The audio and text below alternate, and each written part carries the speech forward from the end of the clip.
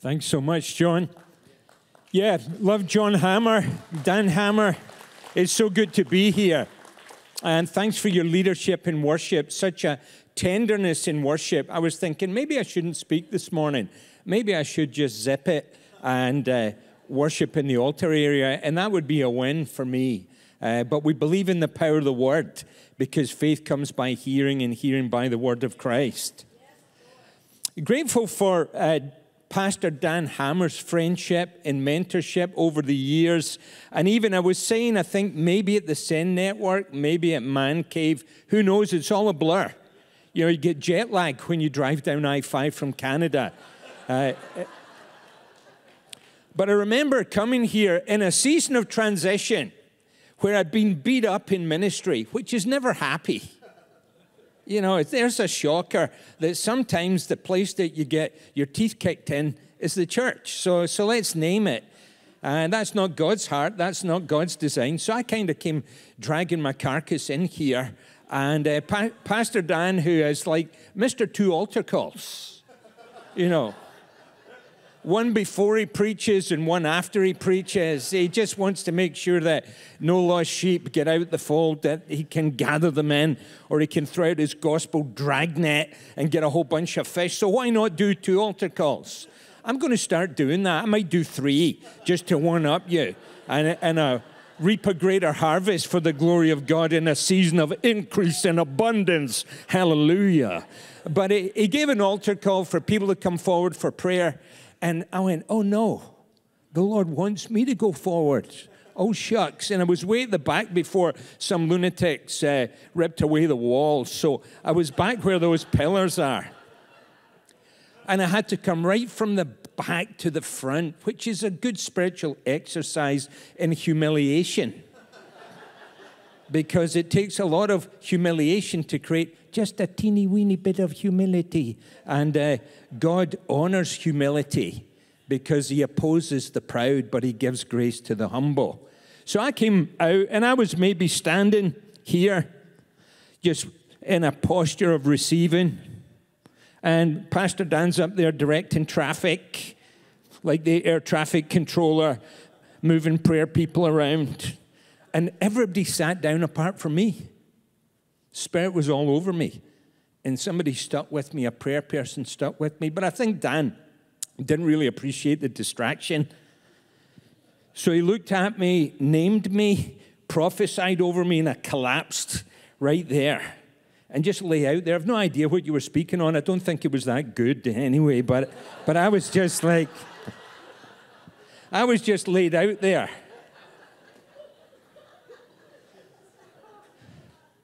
And when you get hurt by others, your trust apparatus gets fried.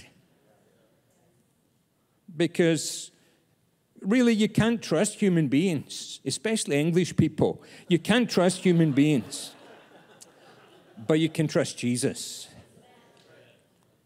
He's always faithful and true and kind. He always keeps his promises. And as I stood up, I was refreshed and my trust apparatus was restored. So it's a beautiful place of encounter.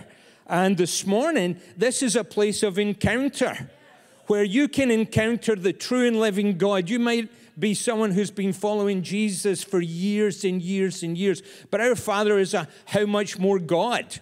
And you can encounter Him in a fresh way, in a new way. You may have been kidnapped this morning from your apartment and dragged kicking and screaming by two men who are stronger than you and bundled in the trunk of their car and brought to church this morning.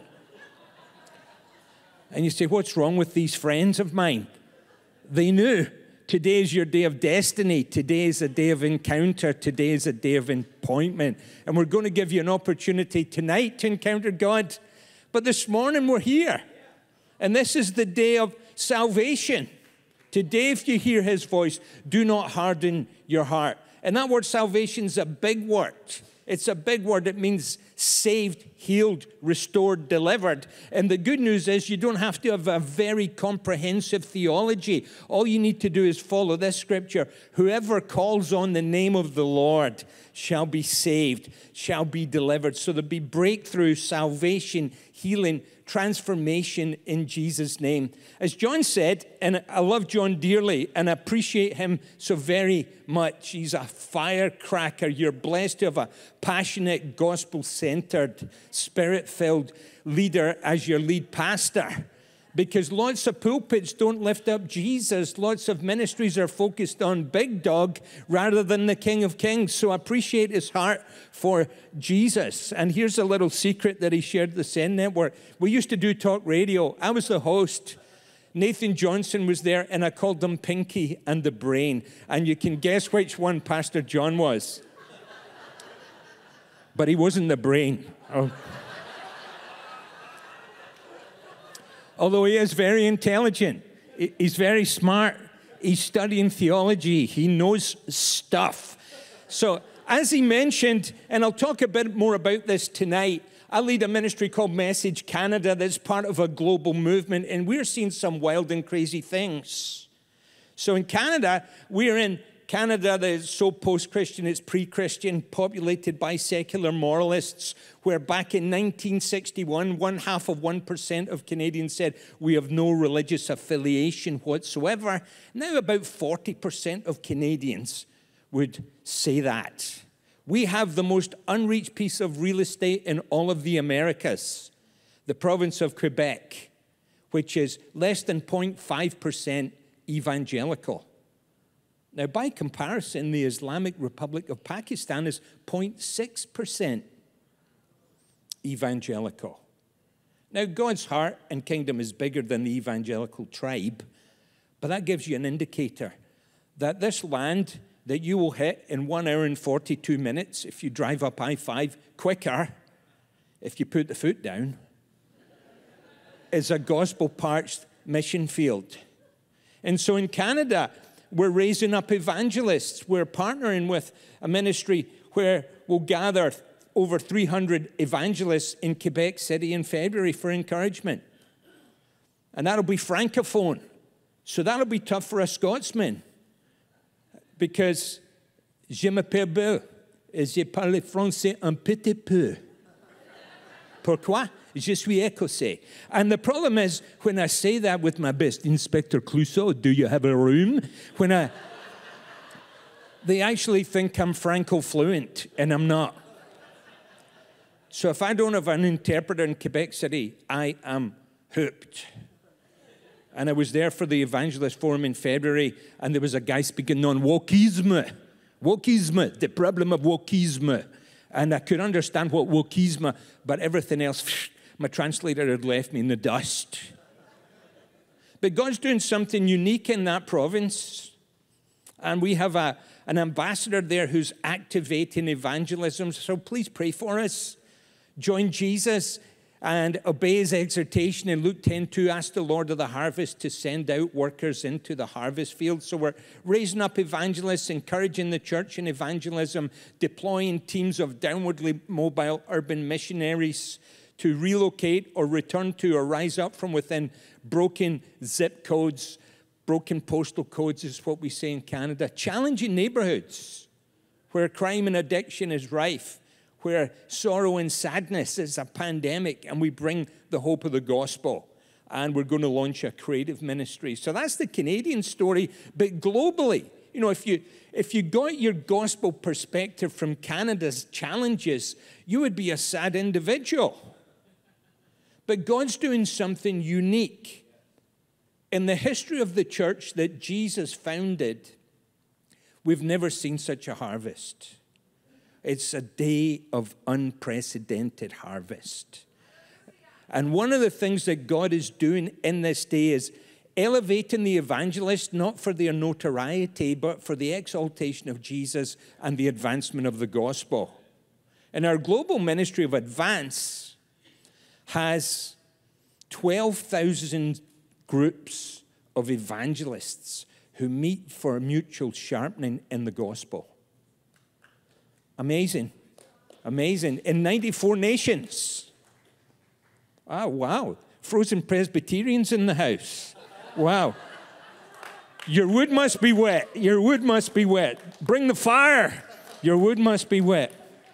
And this year, up until May, these groups reported conservatively because we didn't want to bloat the numbers 200,000 salvations.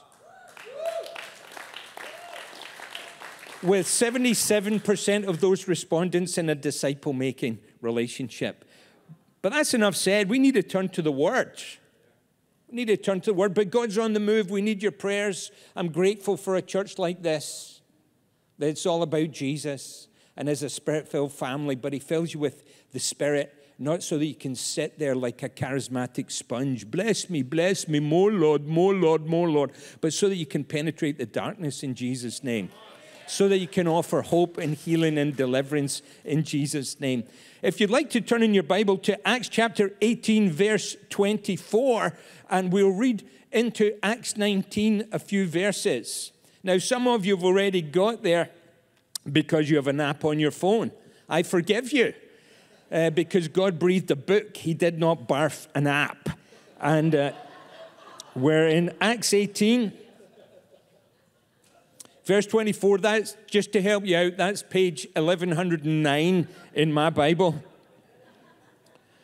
And we're tracking with the missionary activity of that gospel pit bull, that church planting apostolic five tool baseball playing gospel ninja, the Apostle Paul on his missionary travels.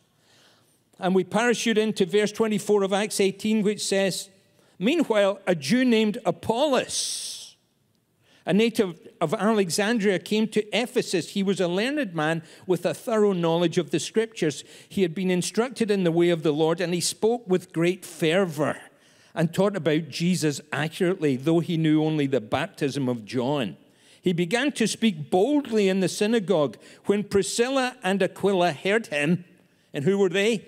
They were a couple of Paul's co workers. Paul had a side gig making tents, so you'd always smell like leather or canvas, as well as being short and ugly. It was tough if you were the Apostle Paul. And this couple worked with them making tents. They were disciple makers, and they even gave the Apostle Paul accommodation. So that's who they were. When Apollos wanted to go to, ooh, I lost my place. Where was I, John? 24? 27. I'll take 27. Thank you. Yeah, I'll trust the pastor. You don't speak again in church. Okay, thank you. When Apollos wanted to go to Achaia, the brothers and sisters encouraged him and wrote to the disciples there to welcome him.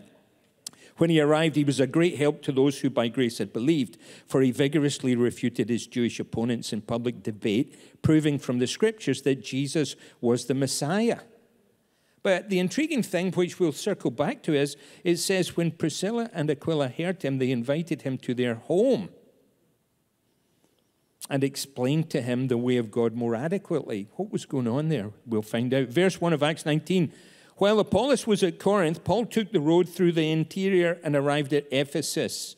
There he found some disciples and asked them, Did you receive the Holy Spirit after you believed? They answered, No. We haven't even heard that there is a Holy Spirit. Then what baptism did you receive? John's baptism. They replied, Paul said John's baptism was a baptism of repentance. He told the people to believe in the one coming after him, that is, in Jesus. On hearing this, they were baptized in the name of the Lord Jesus. When Paul placed his hands on them, the Holy Spirit came on them, and they spoke in tongues and prophesied. There were about 12 men in all. So here's an unusual episode in the life and times of the primitive Jesus movement. And we could call this message Adventures in Missing the Point. I lost my place there. So that was just a tiny example of where are we in the Bible? Adventures in missing the plot and adventures in missing the point. We've got a cast of characters in this spiritual drama, unusual names Aquila, Priscilla, a tag team teaching, disciple making couple. We've got Paul, the great missionary pioneer, and Apollos, a learned man who came from a city with a world class library. And we're told that he had a thorough knowledge of the scriptures, but was actually operating with a spiritual deficit in his experience. Then we motor down to Acts 19, where it seems as if Paul ended up on a beach with 12 surfers from Ephesus disciples who were a clueless bunch. Because he asked them a simple diagnostic question Have you received the Holy Spirit since you believed? Some of us weaned on the King James Version. It says, Have you received the Holy Ghost since you believed? And they said, Duh, we've never even heard of the Holy Spirit. Duh. Have you heard the Holy Spirit? No, you heard the Holy Spirit. And then Paul asked them, What baptism did you receive? And he tells them that John's baptism was actually a signpost to one greater than him King Jesus, who wouldn't just dunk you in the water, he would dunk you in Holy Spirit and immerse you in fire.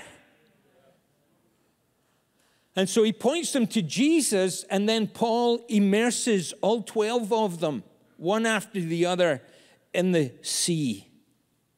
And they're dunked as a watery identification with the death, burial, and resurrection of Jesus. But they still hadn't received what Paul was quizzing them about. And we'll get there. This morning, I want to invite you to respond to three questions. And the first question is this Do you really know Jesus? Have you placed your trust in Jesus as your Lord, forgiver, rescuer, friend?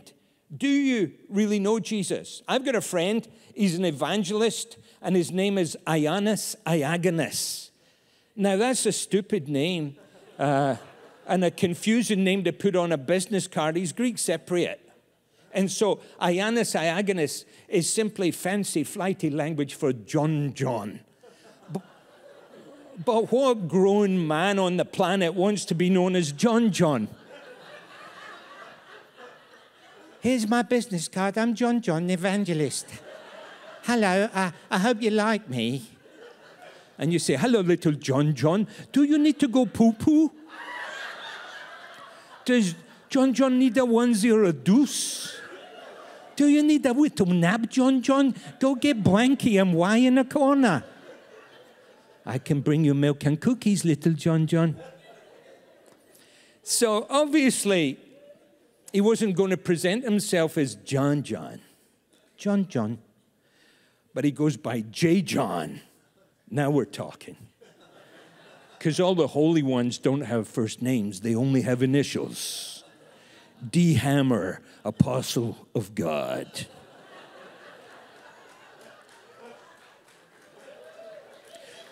So maybe his business card says J. John, evangelist to the solar system.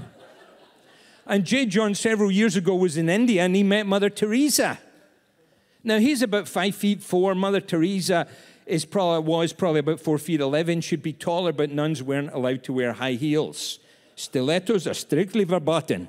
And so it was kind of the meeting of the titans. And Mother Teresa asked him a simple diagnostic question Hello, Mr. J. John, do you know Jesus? He says, What? I tell people about Jesus. I'm an evangelist. She said, Mr. J. John, that isn't what I asked you. Do you know Jesus? And she took her crooked Romanian little finger and put it under his Greek Cypriot nose. Do you know Jesus? And he was indignant. So he responded defensively the second time. I tell people about Jesus, you small, dim little nun. And she said, Do you know Jesus? And let it hang in the air. And he had the wisdom not to respond. That is the most foundational, definitive question that you will answer in your life, even if you live to be 103. Whether you're an adolescent or an adult or a middle aged man who has never grown up and never will grow up, that's the defining question. Do you know Jesus? This is eternal life, to know God and Jesus Christ, whom he has sent. Do you know him? You see, a lot of people engaging with the Lord in worship here, expressive and demonstrative, and it's easy to slip into the shadows and just kind of percolate in the cheap seats and actually never come to a saving, transforming, life giving encounter with Jesus.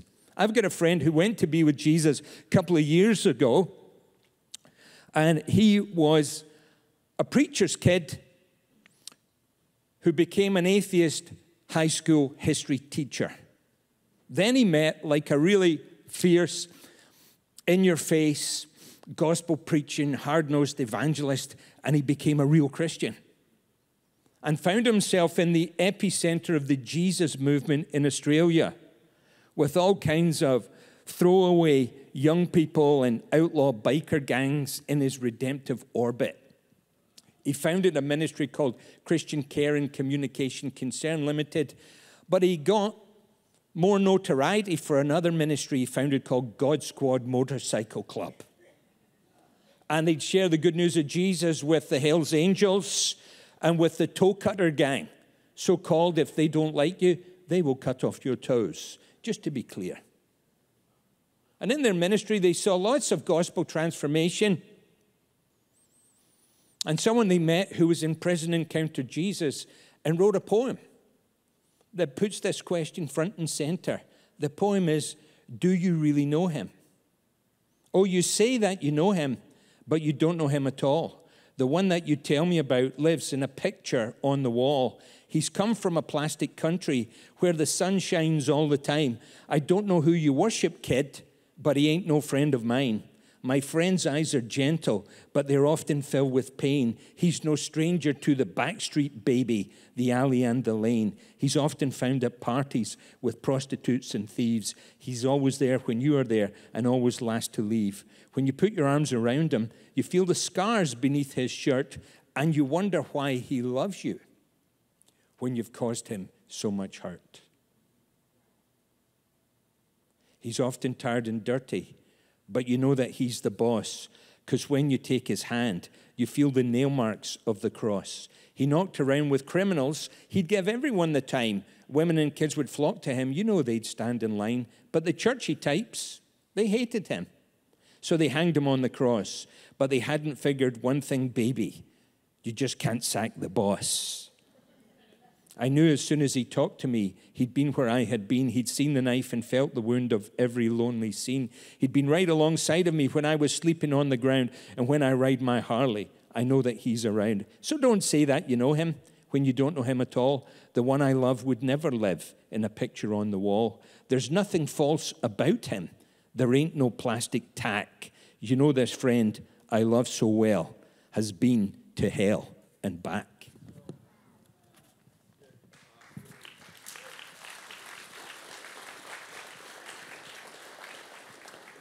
Do you know him? Have you received Jesus? To as many as received him, gave he the right to be called the children of God. If you haven't today, put your life in Jesus' nail scarred hands. Put your life in Jesus' nail scarred hands. He's the rock of ages, He's the sage of sages. Put your life in Jesus' nail scarred hands. In Godfather 3, Michael Corleone, who's taken over from Marlon Brando as the Godfather, is Don Corleone. There will be no act of vengeance. And he's taken over by Al Pacino. And Al Pacino plays Michael Corleone, but he's haunted by the wickedness, the evil, the bloodshed, but he's unrepentant. He won't let go of his sin. He won't repent. And he has a conversation with a cardinal in a compound. And the cardinal tells him that forgiveness and redemption is available, but he won't take it because he's not willing to change. And at one point, the cardinal draws attention to a rock that's sitting in a pool or a bird bath in the compound. And he says, Look at this stone. It has been lying in the water for a very long time, but the water has not penetrated it. Look. And because he's a buff cardinal, patoomf, he breaks the rock in two. And of course, the inside of the rock is perfectly dry And Cardinal Lamberto says, Look, it's perfectly dry. The same thing has happened to men in Europe. For centuries, they've been surrounded by Christianity, but Christ has not penetrated. Christ does not live within them. So that's the first question. Everything else I say is really irrelevant if you haven't settled the first question. Has Christ penetrated your heart? Is he your Redeemer, Rescuer, Savior, and Center? If not, you can take simple, stumbling step of faith, surrender to Jesus, and walk into the parking lot a different man, a different woman, a different old codger, a different young person than who came to this gathering. Second question that clearly arises from this passage of Scripture, which is a vital question for us to uh, settle in our lives and in this moment we are in. Have you had a definitive Holy Spirit baptism? So that's what Aquila and Priscilla were responding to in Apollos' life. Apollos was steeped in the scriptures. And that's vitally important. Jesus said, You're my disciples if you continue in my word, if you abide in my word, if you remain in my word, and my word remains in you. But he only knew John's baptism, which is Luke's code to say he needed another baptism because he only knew John's baptism. And out of all the gospel writers, Dr. Luke, who wrote the book of Luke, and the book of Acts, which are really one book interrupted by another gospel, has a peculiar interest in the activity of the Holy Spirit in his gospel.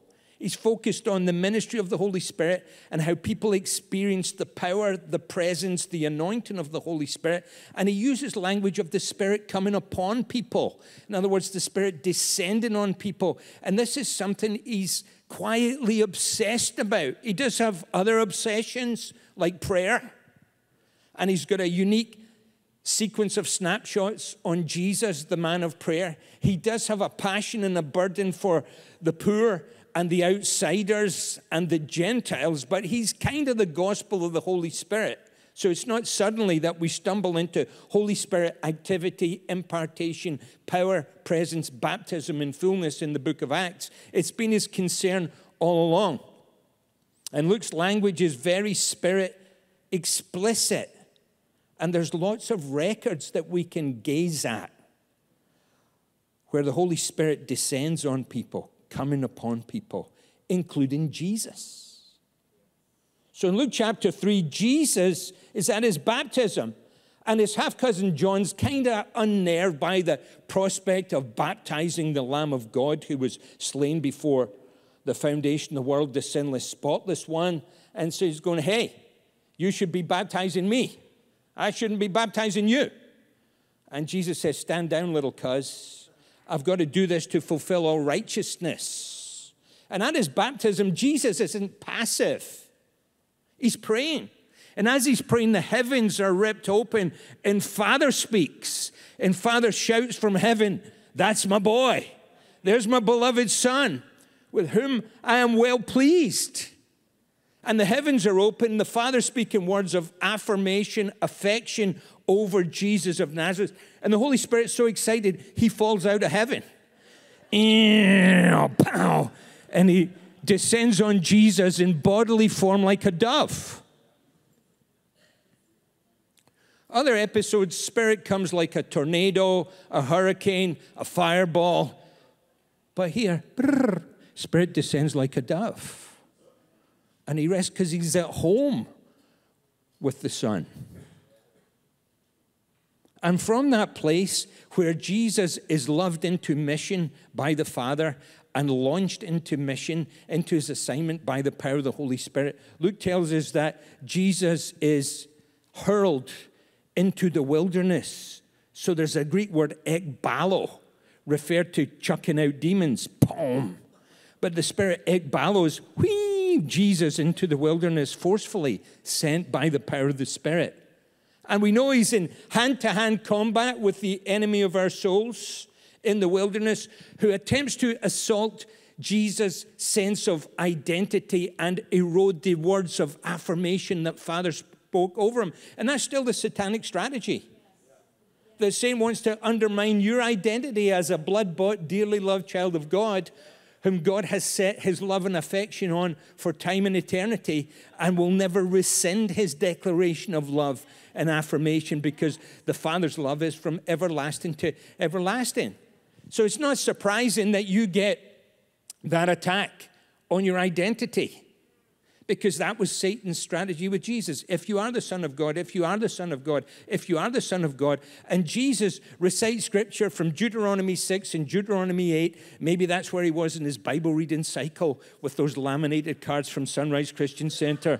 Well, you know, what will I read today? Okay, Father, let's do Deuteronomy 6, 7, and 8. That sounds good to me. And so he, he just gives torpedo, torpedo, torpedo from the Word of God into Satan's ugly skull. And then how does he return?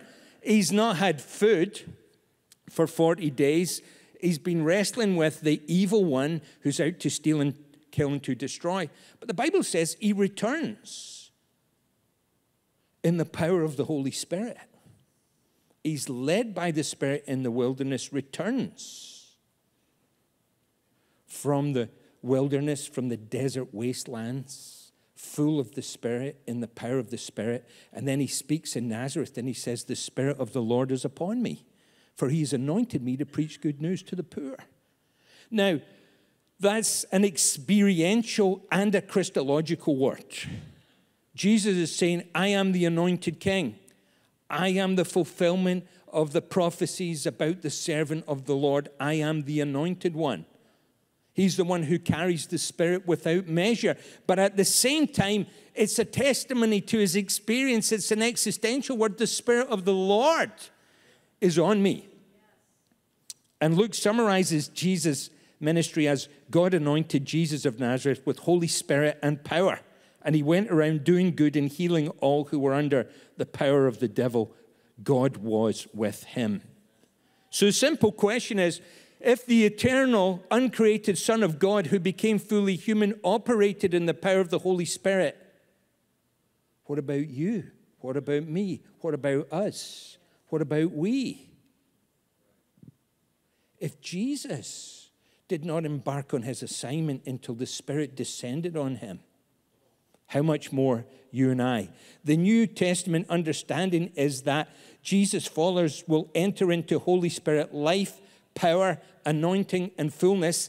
And the gateway for that is a definitive baptism in the Holy Spirit. Donald Guthrie said, The believer's whole spiritual existence depends on the activity of the Holy Spirit. It involves a totally new mode of existence. Apollos was learned, confident, compelling communicator. We told he was a fierce debater. He spoke with precision and forcefulness, but he knew only the baptism of John. In other words, he'd never experienced the baptism in the Holy Spirit. He was a, a word person, but God is looking for word and spirit people. R.T. Kendall says there's been a silent divorce in the church, speaking generally between the word and the spirit. When there is a divorce, sometimes the children stay with the mother, sometimes with the father. In this divorce, you have those on the word side and those on the spirit side. What is the difference? Those on the word side stress earnestly contending for the faith once delivered to the saints, expository preaching, sound theology, rediscovering the doctrines of the Reformation, justification by faith, sovereignty of God. Until we get back to the word, the honor of God's name will not be restored. What is wrong with this emphasis? Nothing. It is exactly right, in my opinion. Those on the spirit side stress getting back to the book of Acts signs, wonders, miracles, gifts of the Holy Spirit, with places being shaken at prayer meetings. Get in Peter's shadow and you're healed. Lie to the Holy Spirit and you're struck dead. Until we recover the power of the Spirit, the honor of God's name will not be restored. What is wrong with this emphasis? Nothing. It is exactly right, in my opinion. The problem is, neither will learn from each other. But if these two would come together, the simultaneous com- combination would mean spontaneous combustion. And if Smith Wigglesworth's prophecy got it right, the world will be turned upside down again. And so Apollos was a word man who became a word and spirit man because Jesus baptized him in the Holy Spirit. What about those fledgling Ephesians? They were clueless. They were Egypts. They had the collective IQ of a box of donuts.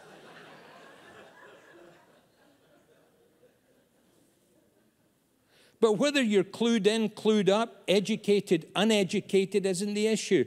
You need the baptism of the Holy Spirit. And Paul laid hands on them because in the New Testament there's a practice, which is part of Sonrise's culture, that you can lay hands on people. And there's a transmission, there's an impartation, there's a release, there's a coming upon of the Holy Spirit in a transformative way. And this is God's design. God's design. In Luke's gospel, Jesus tells the disciples, Stay in Jerusalem till you're clothed with power from on high. Acts 1, verse 4 Wait for the promise of my Father. Then there's a promise you will receive power when, after the Holy Spirit comes upon you. What is the baptism of the Holy Spirit? It's being immersed, soaked in the Holy Spirit. John baptized in water. Baptism Sunday, they won't do a little sprinkle like a Brylcreem baptism service, a little dabble, do you? They'll dunk you right under. If they question the validity of your conversion, they might keep you under. and then you send a signal, yes, I, I really repent. In Arminian churches, Sometimes they're scared that people will backslide, so they just drown them. That's the way they do it. No turning back, no turning back. But baptism isn't a sprinkle, although the Spirit can come like refreshing rain. It's a right good dousing in God's empowering presence. And it's a baptism of power, of love, and of fire. Paul says to Timothy, God hasn't given you a spirit of fear you little weasel. He's given you a spirit of power, of love, of a strong mind, of self control that's supernatural. And the Spirit can come upon you in different ways. My wife had a sovereign baptism in the Holy Spirit. We were part of a church that didn't believe in the baptism in the Holy Spirit, and the pastor gave some kind of an altar call. And my wife, who I didn't even know at the time, didn't even notice her. What was I thinking? Why do you think I got glasses? And she came forward for prayer. The pastor's wife took her into a little side room. The Spirit of God just landed on her, and she began speaking in tongues. And the pastor's wife, who had a Pentecostal background, said this helpful theological comment I think we both know what's happened here. and she came out the side room, and then I noticed her. And I said, Oh, yes, she shall be mine. Oh, yes, she shall be mine. She was glowing. She was radiant. The Spirit was all over her. I was an engineering student who grew up in a legalistic church. No fun, too much damn, and not enough mental. We were fundamentalists. We had all kinds of stupid rules and regulations. And the problem when the gospel isn't articulated clearly, and when legalism is the subtext, it's an unnerving place to be. God, does God really like me? Has God fully accepted me? It's, it's trouble. And I was an engineering student, and I went into the cafeteria in the J block of our university because that's where all the cute computer babes were. And I was sitting to eat my lunch, and I'd finished my lunch and I'm leaving, and a guy comes up to me, introduced by someone I kind of knew, and said, Bill Hogg, meet Alan Taylor. Alan Taylor, meet Bill Hogg. I said, Hello, Alan Taylor. And he said, Have you been baptized in the Holy Spirit? I thought, You are a complete nut job. Captain Fruit Loops. You know, what about a social greeting instead of going for the jugular? So I said, Well, I've been sanctified. And he says, Have you been baptized in the Holy Spirit with wide, weird saucer eyes? And I said, uh, He said, Can I pray for you? I said, Sure. We always say that. Hey, can I pray for you? Meaning, I'm not going to do it. So it's safe. So he said, Can I pray for you? I said, Sure, you can. Okay, so okay, let's find an empty room. I thought, Wow. So we went into an empty lecture room, and I'm sitting in a chair and he's sitting in a chair. He puts his hand on my shoulder, which this is only a first date, so that was a problem. and he began speaking in fluent Swahili with his eyes closed, but my eyes were opened. I'm like, what's going to happen next? And he's got his hands up to heaven and he's speaking away in Swahili, Hindustani, something, Syro-Phoenician. And then he stops and he speaks in Scottish King James. In not many days hence, if thou shaltest receivest power from on high. Whoa. I left as quick as I could. There was a hunger and a yearning inside me. I went home to pray, but my little prayer time with Jesus got interrupted. But I went to a church service at a church that was like a filling station for cessationists who wanted to come out the wilderness, for charismatics and non charismatics. It was the filling station. They had a deliverance ministry, like if you were scared of pigeons, brrr, whoa, uh, they would set you free. That was one of their ministries. They didn't put that on the notice board come and be freed from the phobia of pigeons. but they they had a Saturday night service, and uh, the pastor got up to preach. I was there with my buddy, who was also at the university. And he spoke from Acts 19 just briefly. It wasn't a message, it was just a brief little, hey, by the way, have you received the Holy Ghost since you believe Jesus wants to baptize you in the Holy Spirit? And I get so excited. I punched my buddy in the ribs. And I'm like, that's why I'm here. I actually got rebuked from the stage from just being out of control. No, that was a very measured punch in the ribs. They had an open time of prayer. Someone wandered around and laid hands on me, and it was like heat on my back. And then the resident prophetess got up to speak, and she spoke for like an hour. And I'm like, Lord, I've got to get this car I borrowed back. Would you shut the prophetess up? Because I want to go to the after meeting and be baptized in the Holy Spirit. Well, the Lord finally had mercy the wee woman sat down, stopped talking, and then the pastor said, Come into the little room, and we want to pray for you. So I'm there, and the saying, Just receive from Jesus, just focus on Jesus, just receive, and saying other unhelpful, vague religious phrases. They pray for my buddy, and he just collapses in his chair with a face like an angel, and he's away in fluent Swahili. And I'm like, You dirty dog.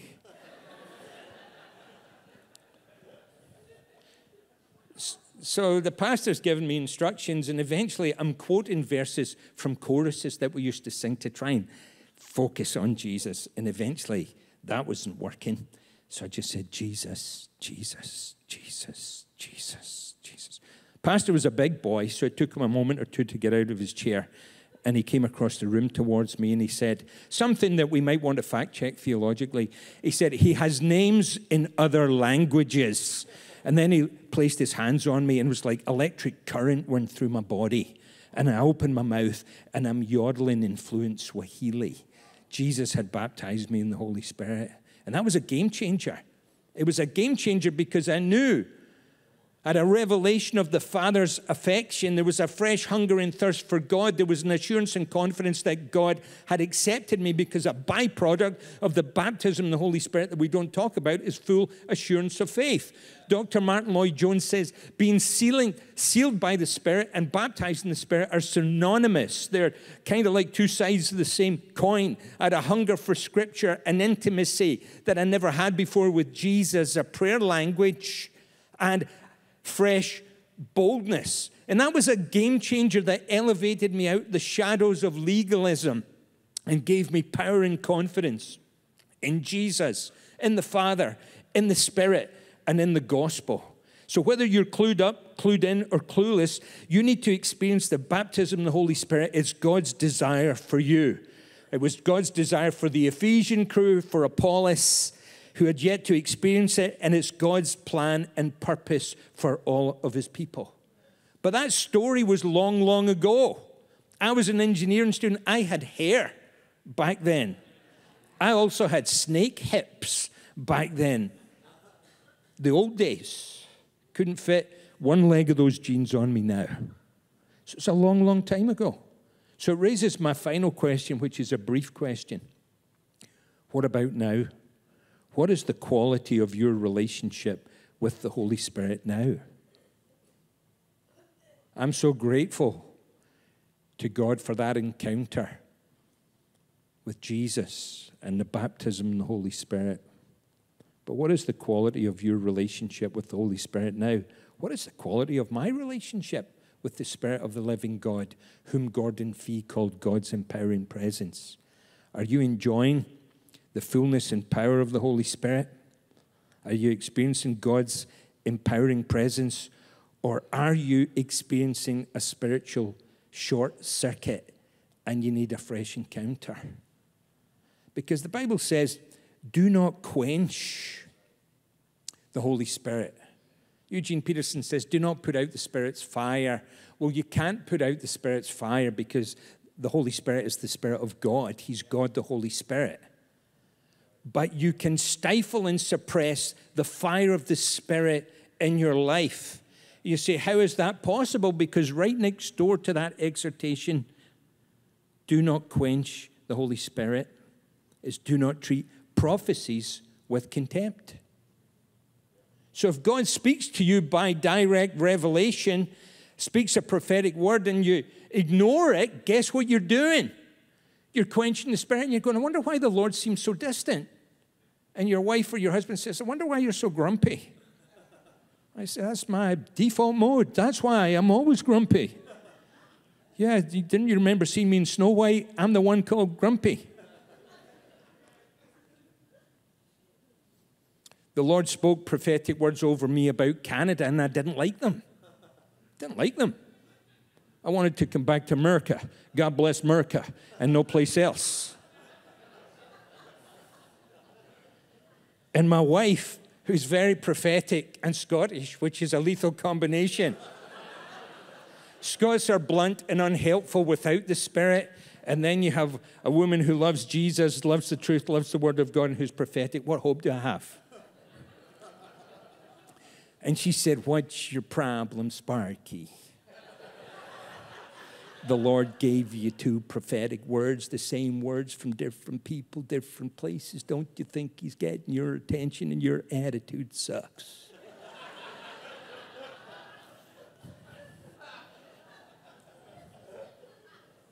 and she was right.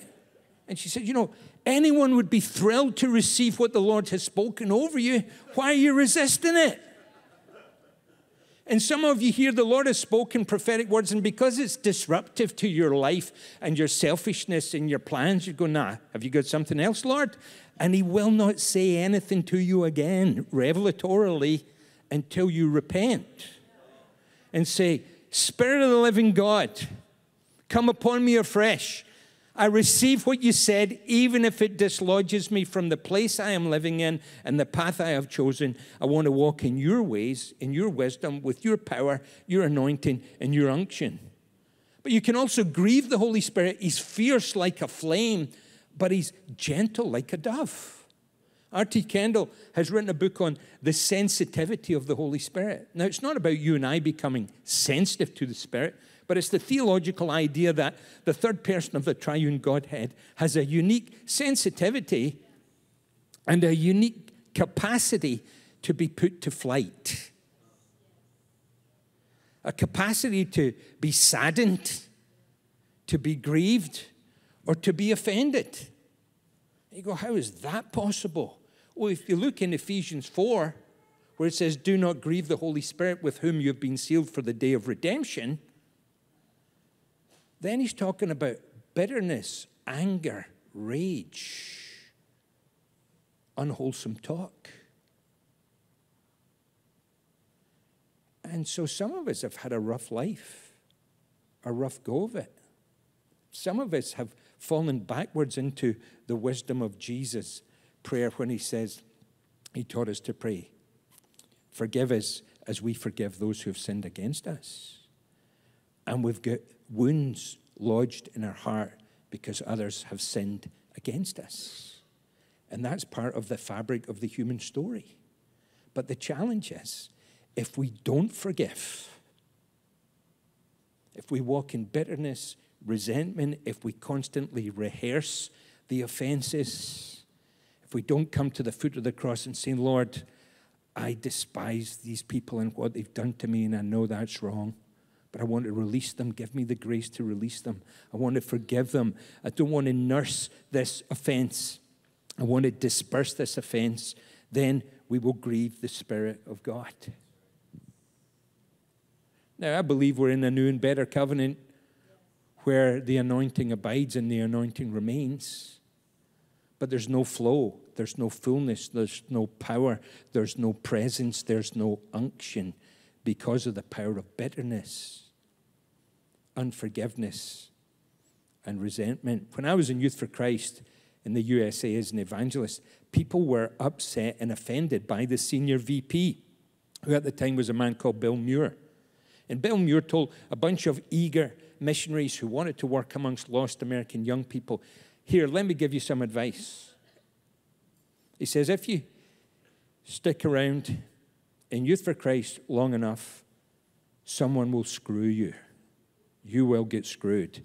Now, some of the eager beavers who'd never heard a pastor use the word screw from the pulpit were freaking out at his use of language. So don't blame me. blame Bill Muir. But the possibility that in a missions agency that's dedicated to communicating in the good news of Jesus, that you'd be injured and hurt and screwed by others was jarring and unsettling.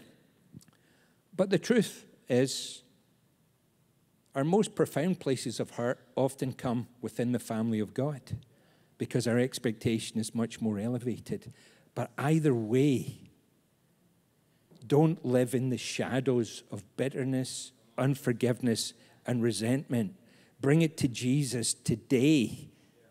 Experience cleansing, release, and freedom today in a fresh infusion of Holy Spirit life. I'm going to pray and I'm going to invite you to respond, and I'll tell you what that looks like in a little moment. But Father, we love you. We thank you for your faithfulness, your goodness. We thank you for the sense of your tangible, conspicuous presence here in this place as we meet together. And we thank you that you offer us new life in Jesus. And we thank you that you don't offer us a self improvement package. You offer us new life lived out of the overflow of a reservoir of Holy Spirit fullness and presence and power. We thank you that we can become dearly loved children of God and bask under the kiss of your acceptance, experiencing a new day. And we invite you now to stir us afresh and Holy Spirit for you to descend upon us again and give us fresh revelation of Jesus, of his heart, of the Father's affection. And we pray that you would stir and stir in this room in Jesus' name. So, the first question I asked back when I started speaking five hours ago was this do you really know Jesus? And so I'm going to lead you in a response that will help you settle that question for the here and now and for all of eternity. And I'd invite you to follow me in a prayer. And I'll lead you in a prayer. The words aren't magical, although they're better than American words because they're Scottish words. but if you want to receive Jesus Christ and you know you've never experienced the kiss of God's acceptance, the power of full forgiveness, the new life that Jesus offers, this is your moment of destiny. And I'd lead you in a prayer, and you can invite Jesus. Say, I, I want to receive Jesus. Jesus, I want you to receive me. Receive me, Jesus. I come to you. You say, Come to me, all you who are weary and heavy laden and frayed at the edges and burnt out and stressed and who can't cope, and I'll give you rest and a new life. I'll lead you in this prayer. Lord Jesus, I thank you that you offer me new life. I thank you that you lived the life of full obedience I cannot live. And you died on the cross for my sin. That you dealt with my rebellion. And you offer me full forgiveness because you spilled your blood. I thank you that you're alive. You broke free from death. And I want you to enter my life as my Lord, as my forgiver, as my rescuer, as my Savior. Jesus, come and get me. Change me. Fill me with your love and your presence. And if you prayed that prayer this morning, I invite you to lift your hand. Lift your hand. God bless you. God bless you. I'd like to pray for you. And if you took that very first stumbling step to Jesus, God bless you. I can see you way at the back. Thank you so much. Let someone know here because they want to come alongside you and encourage you in a journey with Jesus, an adventure that starts this morning and continues forward. Lord, we thank you for those who said yes to you this morning. And we pray that they would know your salvation, your power, your presence, your forgiveness. The joy of the Lord would be their strength, and you would mold and shape them into men and women after your heart. Lord, give them the capacity to connect with good friends here so that they can grow in the grace and knowledge of Jesus. Amen.